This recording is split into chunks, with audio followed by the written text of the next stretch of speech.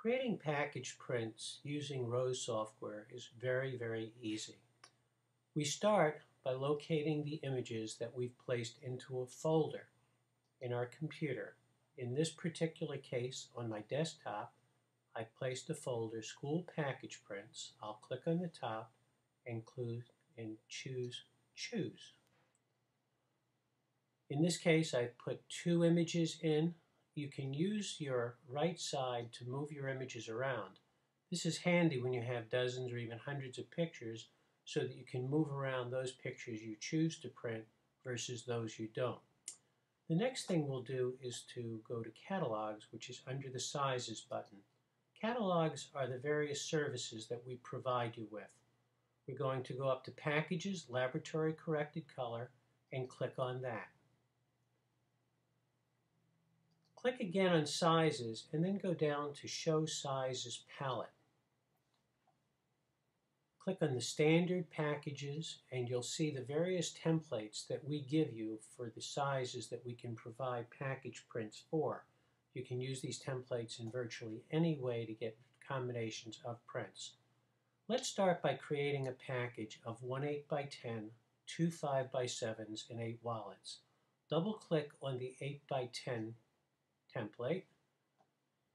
Now we'll choose one of the children. I'm going to choose this dark-haired child. Pull him in, zoom, place the image, and then click Add to Order. You'll note that the Review Order screen lights up. Click on that and you can see that we've selected this as 1 8 by 10 print. Let's go back. Next we'll want two 5 by 7s click on the 5 by 7 template.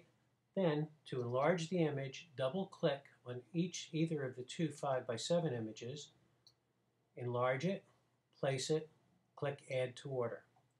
Now let's go to our wallets. Double-click the Wallets button.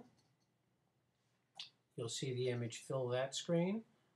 Click to enlarge the image, zoom, place, add to order. Reviewing the order, you can see that we've now chosen all the packages for this one child inside of a matter of minutes. Let's go back and do a second one. On this package, we'll choose uh, to make eight, uh, one 8 by 10, four 4 by 6s, and 8 wallets. Click the 8 by 10 button, bring the other child into the window, zoom, place, add to order. Now look around the templates and you will see that we have four 4 by 6s. Click on that and it will open up. Double click on the image to bring it up. Zoom, place, add to order. Finally the wallets.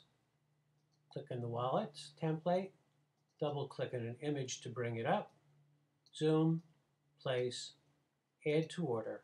When we click review order, we can see that we now have two separate uh, children for various packages. Suppose we want to make a change in one of the images. I'll double click on the image or I can click over here on the edit this box, this item box. It comes back to what we have.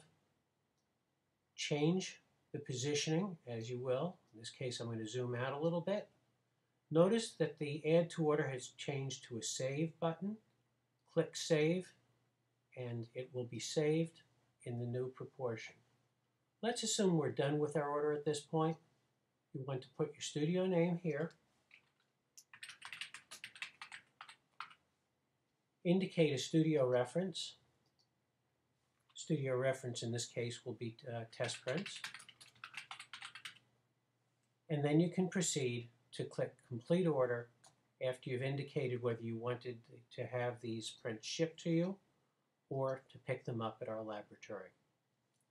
That's basically all there is to it. You simply go through the same actions once after the other. Should you have a large number of prints, consider going to our uh, service called Packager that will give you a single uh, set of a single image in which you can drag in. You predefine your packages and that can be done. For that, just call our customer service department at 800 327 1776. Thank you.